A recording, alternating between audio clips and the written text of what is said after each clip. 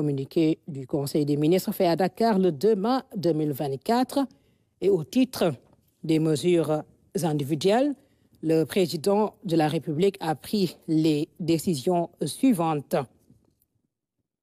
Monsieur Babacar Ning, ingénieur en finance et stratégie, précédemment directeur général adjoint du Fonds souverain d'investissement stratégique Fonds 6, est nommé directeur général du Fonds souverain d'investissement stratégique Fonds 6 en remplacement de M.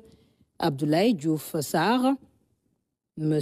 Daïro Cham, ingénieur en informatique et télécommunications, est nommé directeur général de l'autorité de régulation des télécommunications et des postes ARTP en remplacement de M. Abdou Karim Sall. M. Hassan Beng, titulaire d'un Master 2 en administration des affaires, est nommé directeur général de la société Dakar Demdik en remplacement de M. Ousmane Silla. M. Nende Mbouch, maître de conférence titulaire à l'université Cher de Dakar, est nommé directeur du Centre des œuvres universitaires de Dakar Koud en remplacement de M. Maguette Sen.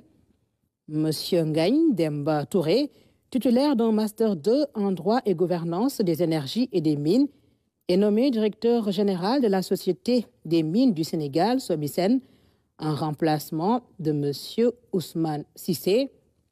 Madame Aminata Sarr, docteur en lettres et sciences humaines, est nommée directeur général de la Société anonyme Télédiffusion du Sénégal, TDS et ça en remplacement de Madame Nafisa Toudjouf.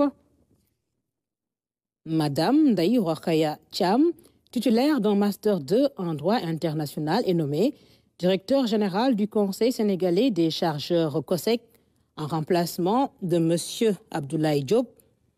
M. Abdoul Nian, ingénieur hydraulicien, est nommé directeur général de la Société nationale des eaux du Sénégal, SONES, en remplacement de M. Charles Fall. M.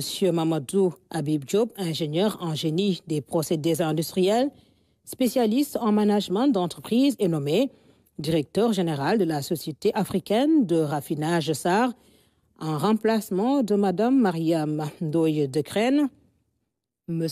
Ibrahima Ba, ingénieur électromécanicien, est nommé directeur général de la Société nationale des chemins de fer du Sénégal, CFS, en remplacement de M. El Haji Malik Ndoya.